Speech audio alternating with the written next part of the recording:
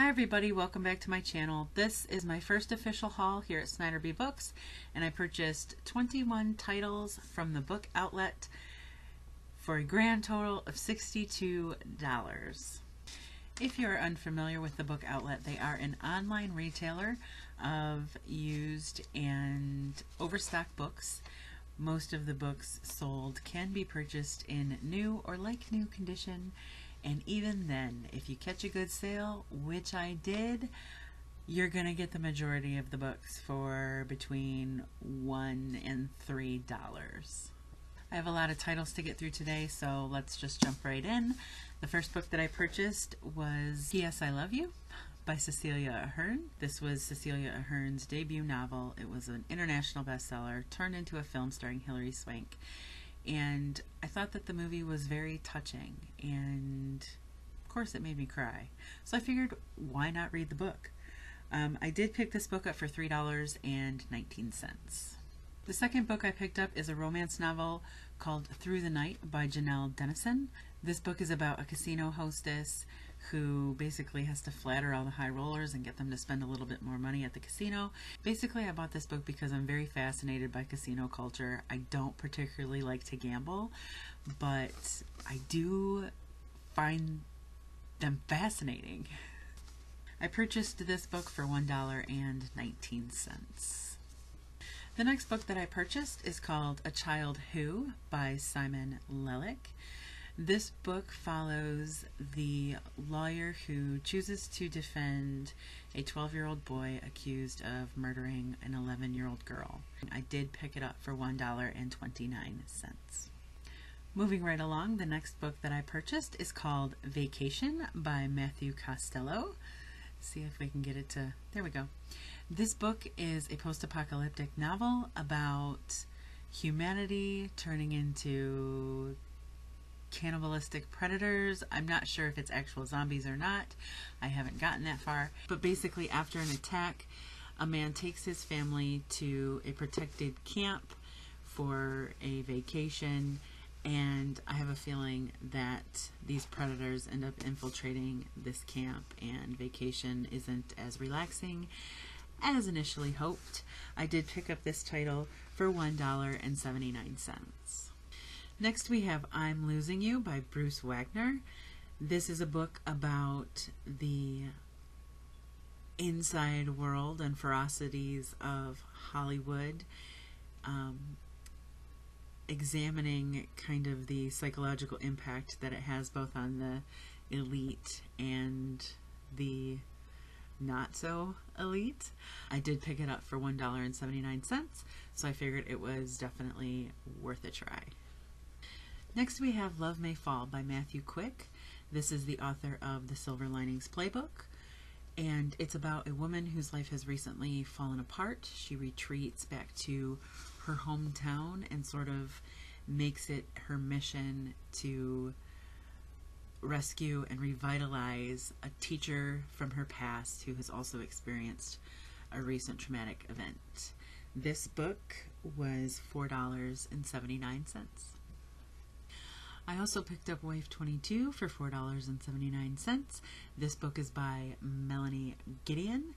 It proclaims to be a funny look at marriage in today's technological age where a wife participates in an online survey about marriage, answering questions as Wife 22, being interviewed by Researcher 101. I know this book is going to commit one of the sins that I am not fond of, which includes strings of nonverbal communication via email or text or Facebook or tweeting or whatever it is as a main portion of the body of text. But um, sometimes it is done in a purposeful and innovative manner. So I'm hoping that that's where Wife 22 falls. My next title is No Reservations by Stephanie Gideon. This is part two of um, what is known as the Salon Games series. I haven't read any of them. It is a contemporary romance set in Philadelphia, and it follows a hotel owner and a lingerie designer.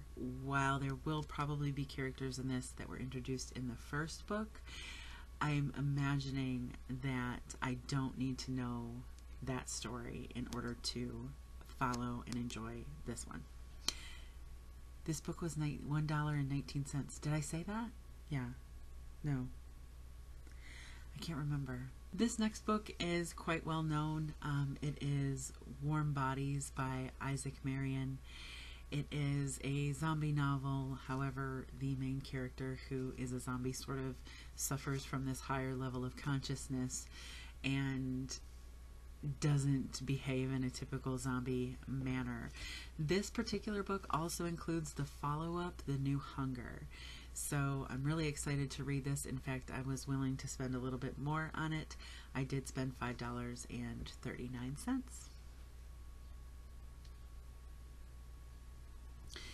Speaking of zombie novels, I did manage to pick up a copy of Code Zero by Jonathan Maberry.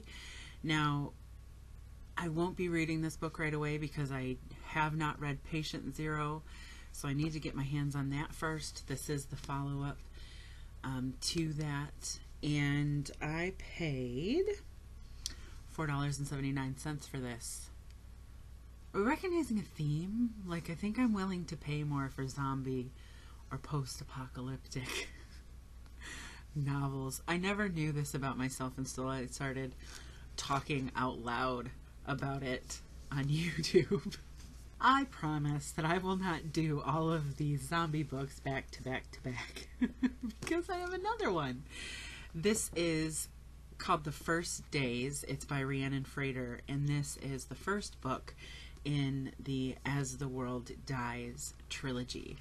Basically, this reminded me of Thelma and Louise meets zombies.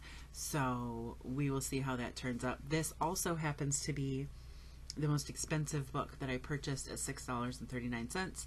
Again, reinforcing the fact that my wallet knows no bounds when it comes to zombie books. We have just a few more to go. This is Love is Red by Sophie Jaff, and it is book one of the Night Song trilogy. Basically, there is a woman who is born to fulfill some sort of prophecy, and the only person who really knows that is a serial killer, and he's out to find her. Let's go ahead and take a break from the post apocalyptic gloom for a minute. This book is called The Underwriting. It is by Michelle Miller, and it is women's fiction that follows a woman who joins a small team of folks developing a $14 billion yeah, $14 billion dating app. This book was $5.39. So, quite a departure from my typical reading tastes. This is Finding Cinderella by Colleen Hoover, and Colleen Hoover has become extremely popular as of late, uh, especially amongst booktubers. And this is the story of Daniel who meets up with an anonymous girl and they spend one hour basically pretending that they have a perfect relationship and romance, and then they go their separate ways. The shortest book in my haul, and yet $4.79, which I think has something to do with Colleen Hoover's popularity. I've been wanting to and have started to pick up several novellas because I want to do a review series that includes multiple novellas in the same review. So that's in development. Stay tuned for that. That does it for the paperback portion of this haul. So let's move on to the hardcover. The first is definitely the strangest book included in this haul, and I'm a little bit unsure about it, but I decided to give it a chance anyway. It's called The Transcriptionist. It is by Amy Rowland, and it is the story of a transcriptionist at a newspaper who comes across the story of a blind woman being mauled by a lion at the local zoo. And the transcriptionist realizes that she had had a conversation, a casual conversation with this blind woman a few days earlier, the contents of which lead the transcriptionist to search for answers as to why this woman was in the lion's den of a zoo. So, definitely strange. I'm not sure what to think, but I did pay $1.79 to find out. Next, we have a book called The Burning by Jane Casey. This is the first book in a series that follows a female detective and she is hunting for and trying to solve the crimes of a serial killer. This book was $1.89. Similarly, we have the book Let It Burn by Steve Hamilton, which follows Detective Alex McKnight as he tries to solve some brutal crimes in the city of Detroit. And I will read any fiction novel set in Michigan. That is my home state, and I've grown up sort of visiting and by no means being a stranger to Detroit. So I'm automatically fascinated and definitely want to find out how Michigan and Detroit is portrayed through the eyes of others. This book was a whopping $1.29. All right, that box down there is almost empty. this book, Crooked Numbers by Tim O'Mara, it is another crime, mystery, suspense novel. Um, it is about a couple of murders of young men poised to attend an exclusive private school, and the parents have appealed to one particular man to try to solve the killings. Um, again, a whopping dollar twenty nine. Now, I myself don't necessarily believe in coincidences, but I do know that sometimes there are happy accidents. And when I busted into my book outlet box, I experienced one. So, the first book I pulled out was A Killing of Angels by Kate Rhodes. And when I started refreshing my memory on the book synopsis, I realized that this is a sequel to another book. And I'm like, oh, damn. But then I kept going through my book outlet box and I had purchased the first one too. I didn't do that on purpose. I just did it because they sounded pretty freaking interesting. So this is Crossbone Yards. This one in particular, A Killing of Angels, sounded pretty fascinating to me because of the mark, I guess, that this particular serial killer leaves behind, where um, he's basically portraying himself as an avenging angel. So I thought it sounded interesting. I will, though, read them in order. And to do that, I have to start with Crossbones Yard first. These books Crossbones Yard, $1.29, and Killing Angels, $1.29. Last but certainly not least, in fact, I saved the book that I might be most excited about uh, for last. It is a book called Midnight by Kevin Egan. And I had never heard of this book, so I didn't go searching it out. But when I was reading about it on Book Outlet, I became absolutely fascinated with this concept. It involves workers at a county courthouse in New York.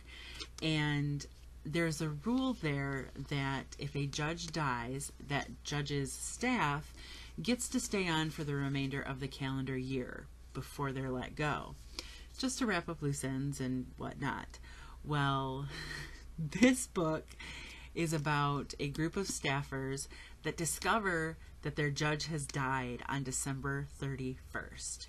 So the book follows what I can only imagine will be very stressful attempts to hide the judge's death until after midnight so that they can continue to work for a full calendar year again, no clue why this spoke to me so much, but I'm just really super excited to read it. It sounds like one of the most unique books I've picked up in a long time.